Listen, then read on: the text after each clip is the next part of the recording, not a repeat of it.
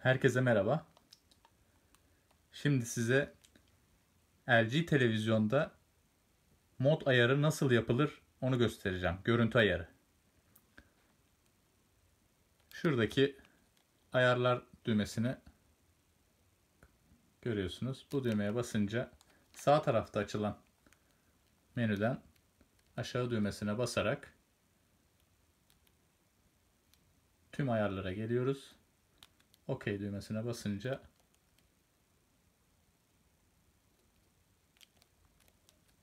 açılıyor.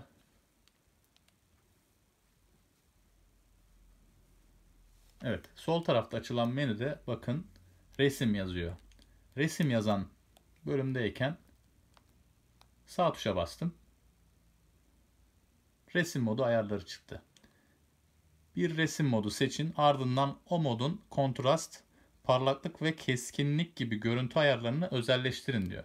Yani buradan çeşitli modlarda görüntü elde edebiliyorsunuz.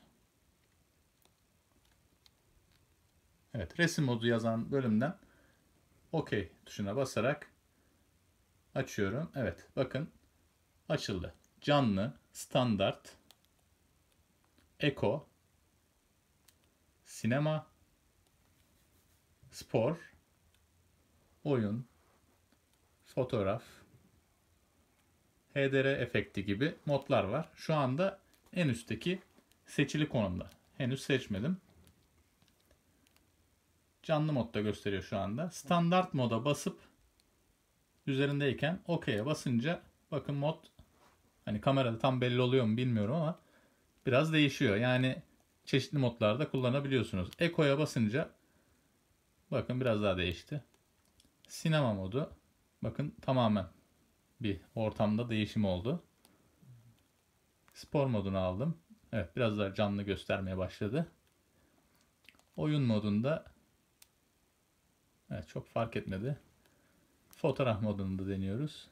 Yine küçük değişikliklerle kullanabiliyorsunuz. Tabii şu an yayın üzerinde ben bunu gösterdiğim için siz mesela oyun oynarken veya işte herhangi bir spor yayını izlerken bunu daha iyi anlayabileceksiniz bu modda kullanırken.